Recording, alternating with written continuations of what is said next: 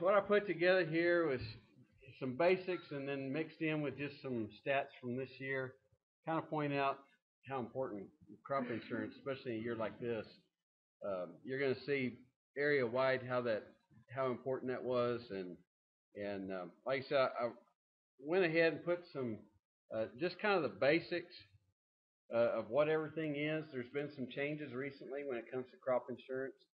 Um, we've changed our acronyms. We don't have CRC anymore. We have RP, and we don't have APH. It's YP, and so just kind of go over some of those things. Uh, and y'all may have already seen this before, but uh, just kind of go over it. You know, you got your federal crop insurance, which is the common crop policy, which is the RP and YP, which is what used to be CRC and APH.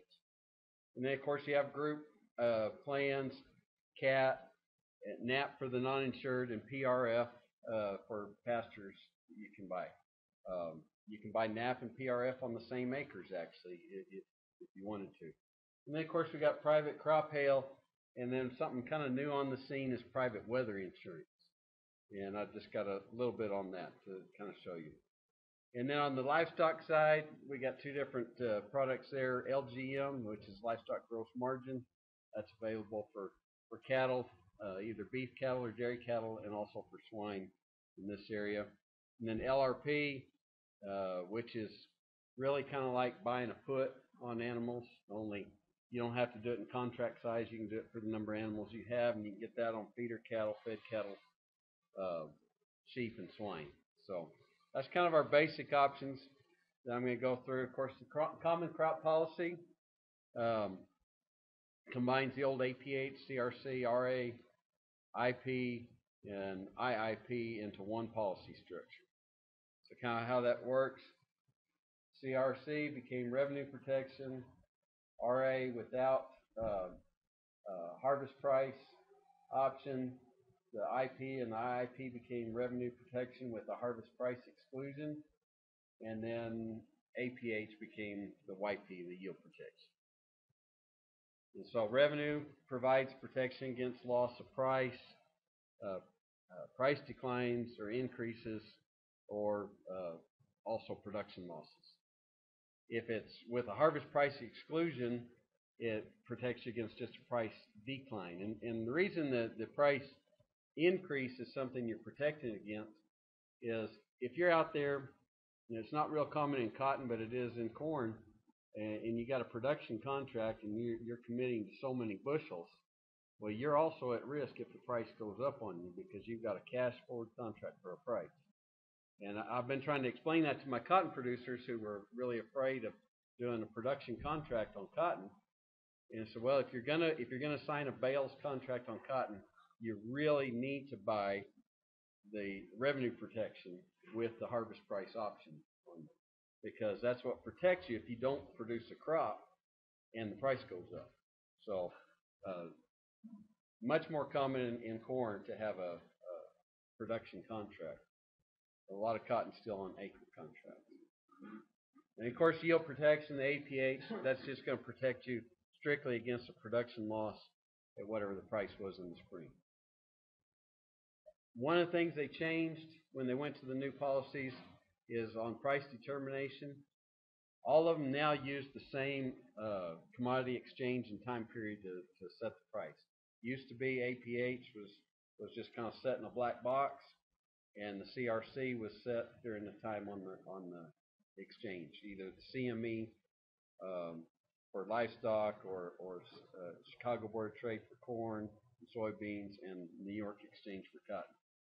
Um, all use the same same period now, same uh, price.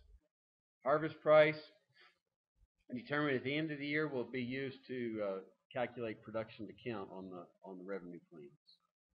Those periods then, um, cotton uses the ICE December contract. The uh, spring price is set in the month of February for all the northern counties up here. Uh, mid counties, it's set from January 15th to uh, February 14th. And in South Texas, it's set from December 15th to January 14th. Harvest price is the month of October in both the middle and northern counties. and the month of September for those southern counties. And corn uses the Chicago Board of Trade in the December contract. Uh, the northern counties, it's the month of February. The southern counties, it's the month of January. Uh, both of those set their harvest price in the month of September. Grain sorghum uses the December corn on the Chicago Board of Trade. Northern counties is the month of February. Southern counties is the month of January. Harvest price for both is the month of September. And then wheat used the July Kansas City Board of Trade contract. The projected price is set from August 15th to September 14th, and the harvest price is set in the month of June. So, what are we buying? When it comes to cotton, the primary product is the RP product. 60, uh, two thirds of all policies sold in Texas were RP. Um, the next is the YP, the yield production yield APH. That's 28.5%, and the other 4% in CAT, and then less than 1% each for the other types of, products. This map here, uh, these are available from the uh, uh, regional office of Risk Management Agency with USDA, Oklahoma City, but that um, you can see just our planting dates here in Castro County. We're in the uh, uh, May 31st is the final planting date for cotton. Then when you go to corn, look at the corn. RP accounts for 45% and YP 44%. So it's pretty evenly split between the two. And there's a little bit more cat on corn at 10%. Um, I know with people I do pharmacists with, there's quite a few people that just get cat or a real low level of YP and then add hail on top of that to cover the rest of theirs. So that that's why you see those numbers like they are. And of course, planting date in here, um, May 15th. And then grain sorghum, it's about the same as corn. 45% is RP, 46.7% is YP, and 7.5% CAT. As you can see, most of these other policies aren't aren't real popular, less than 1% in each of the other types of policies. Grain sorghum planting date um, is that red. It goes all the way up into Oklahoma, and that's June 30th. And then on wheat, um, wheat's a little bit more like cotton. 60.9% is the RP, uh, 26.3 is YP, and 11.8% cat. So there's just a little bit more cat on wheat.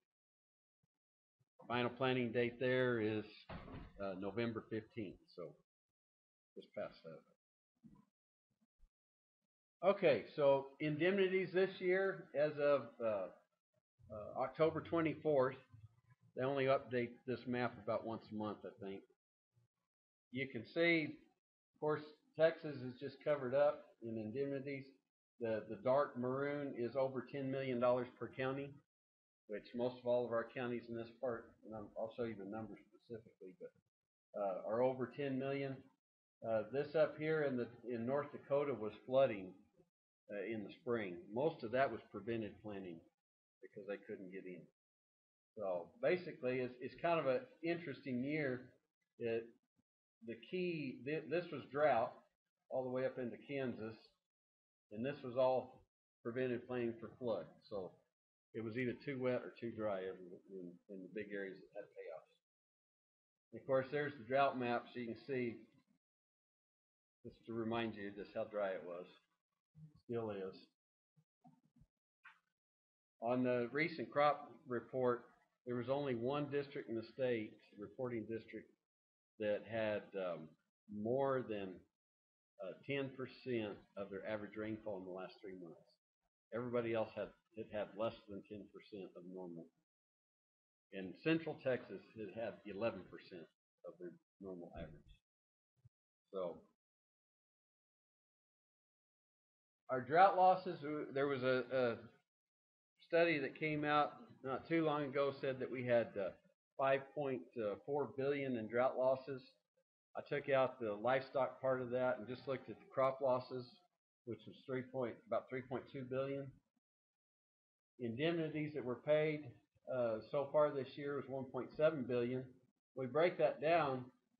Cotton had uh, 1.8 billion worth of loss and 1.13 worth of indemnity. So, uh, 60 something percent was, uh, I think it's about 65 percent of that loss was covered through crop insurance. As we kind of moved down, corn, you know, was only about 45 percent. Grain sorghum was only uh, was about 60 percent. The wheat uh, was a little bit more. It was like I think 54 percent. Pasture and rangeland, pasture, rangeland, forage, pretty big gap there. 123 versus 750 million dollars worth of losses. Part of that's just because people don't buy that much insurance on on pasture and rangeland, and the fact that this is just the PRF indemnities. People can also buy NAP, and some some uh, ranchers I dealt with uh, only had NAP, didn't have PRF. So that doesn't include the NAP payments there because those are administered out of the as far as indemnities in this area, Castro County had $16 million worth paid out. Uh, Parmer 24 million, Bailey 17, Lamb 40 million, Hale 46, Deaf Smith 26. So big payouts around here, 60 million in Lubbock. If we look at the top 10 Texas counties, Lynn County had the most at 76 million and Dawson at 67, and then Lubbock, Hockley, Fisher. Uh, all top 10 were over $40 million paid out in each of those counties. Of course, Lynn County is big dryland county uh, as far as acres go on cotton. Uh, Martin County is almost all dryland. Floyd, Floyd County, um, a lot of dryland there, but they had a lot of corn loss there because they just didn't have the water. And so that's where some of that big numbers came in there. Um, Lubbock County, most most of Lubbock County wound up being dry land by the time it was all over. A lot of the irrigated there was was abandoned too. Okay, I'm not going to really spend a lot of time talking about crop hail, but uh, just to kind of let you know, crop hail, you know, is not part of the federal crop insurance system. Uh, it's provided directly uh, by private insurers. Um, you know, they, they do work uh, with some standards there, but uh, you can purchase the MPCI. There's not like a sales closing date or anything. You know, you do have to buy your hail insurance before it's actually hailing. There's there's a little bit of time there. You got to buy it. And as far as that private weather insurance I mentioned, there's a place called the, the Climate Corporation. It used to be called Weatherbill. And as far as cotton production goes, um, it you, you still buy this product just like um, it was originally being sold, which is by specific weather event. In other words, um, you can buy insurance against it raining during harvest. So you can say, here's harvest, and if it rains during harvest, then I get a check. What they what they've since come up with is this thing called this total weather insurance, and they've got it right now for corn, soybeans, and they're supposed to, I think, next year have it available for cotton, but they don't have the specifics up there yet. Um, and on what it does is it takes all the different events, all the different key time periods, and puts them into one weather package so that you can just buy total weather insurance. So in other words, that that is if it's going to be too dry during pollination and corn, and if rains during harvest or planting. And those all get packaged together into one one deal. And with, with corn, I think they have seven weather events at seven key times. And if any of those happen, it doesn't matter if it even affected you, but if they happen according to the grid that you're in, you get a check. So it's kind of a, you know, it, can be a, a, a package deal here. Right quicker, the grids, are they like a twelve by twelve mile grid, the same as like the PRF? Do you know? They are not the same as PRF. I, I do know that. What what they're using is their own proprietary smoothing software where they take all the different weather stations and they pinpoint it down to pretty close to your farm. I mean it's you know, that, that's part of their deal. It's kind of like DTN's new weather thing that they're coming out with. That's supposed to get it really close to being accurate for your farm. Well, they're doing the same thing here. And so it, it's pretty much if, if it, if it was going to rain on your farm, it's your farm. It's not those 12 by 12 grids like PRF. And th- this is just a little deal I pulled up. Lubbock County, they, they claim that more than 99% of losses for cotton in Lubbock County are due to weather. And I I'd agree with that. That's pretty much what, what takes care of cotton there.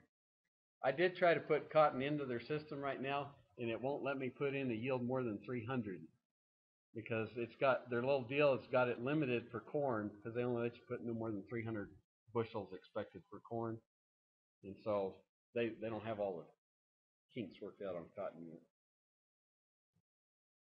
Just a little bit then on pasture. Uh, I mentioned it before, but you know the two things you can do on pasture, rangeland, and and forage is is PRF and NAP, and it's one of the few things that you can actually buy both on the same acre. Um, of course, you know NAP's going to cost you 250 bucks. It's just an administrative fee. Uh, PRF uh, actually is a rated product, of which is hev- heavily subsidized. And the reason it's heavily subsidized is it's it's kind of the the federal government's way of, of providing some safety net to, to livestock. They got all these crop programs. They didn't have anything for livestock, so they went in here and they subsidized the premium real heavy on PRF. Uh, so much so that you know in a 10-year period you're you're almost guaranteed to get more money than you put in. And the reason you're getting that, it's actuarially sound overall, but the government's subsidizing the premium so much that it makes it where pretty much just pays. Of course, in in the record drought, it paid off. It's paying off really good this year. Of course, the, the period's not over yet. Where it's available, it's it's available all over the West. But the green states here are the vegetative index, and the blue is the rainfall index. And you should be thankful that you live in Texas and you have rainfall index instead of vegetative. Because New Mexico, New Mexico, as you can see, was under just about as much drought as we were. This up here around Farmington was about the only place that wasn't in drought.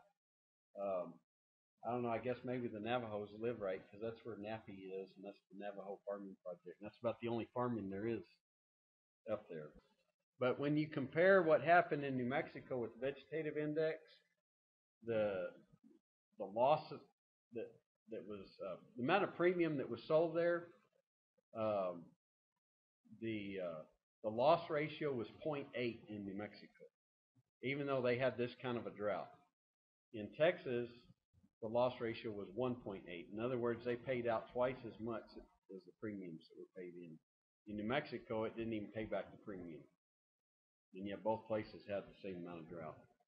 Um, I talked to some guys that were selling PRF in both states, and they said they had no claims in New Mexico that paid. Just so that vegetative index is not figured right. You can have one of the worst droughts ever and, and not have it pay at all. Dates on that. Of course, we're already past the sales closing date this year, so I mean, if you're thinking about this, it, it'd be for next year because it's September 30th. Acreage reporting on November 15th, and the crop year is from January to December.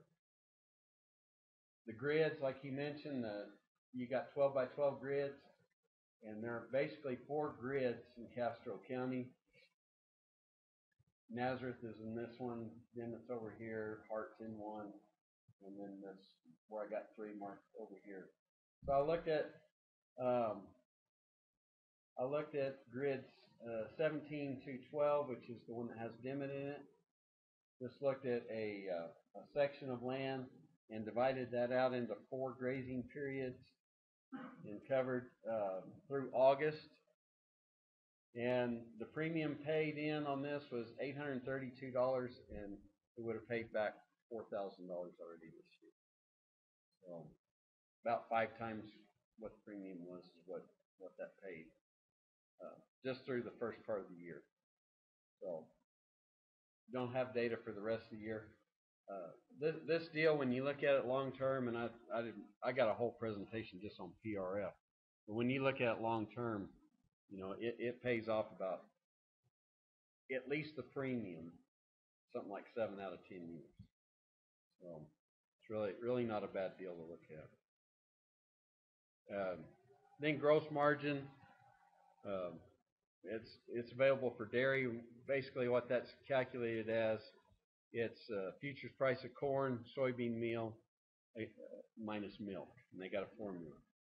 Uh, on the cattle, it's just gonna be the cost of, um, uh, feeder cattle and corn, and, and then the, uh, fat cattle on the other side.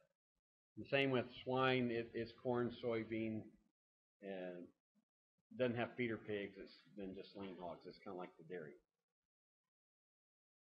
And then LRP, again, like I said, that, that's more of just protecting against a price decline. It's basically, it's allowing you to buy a put on your cattle for the specific number of pounds that you've got, as opposed to having to go to the futures market and buy a contract that's lumpy. All right, well, that's my contact information, if anybody, um, wants to get a hold of me, just give me a call there.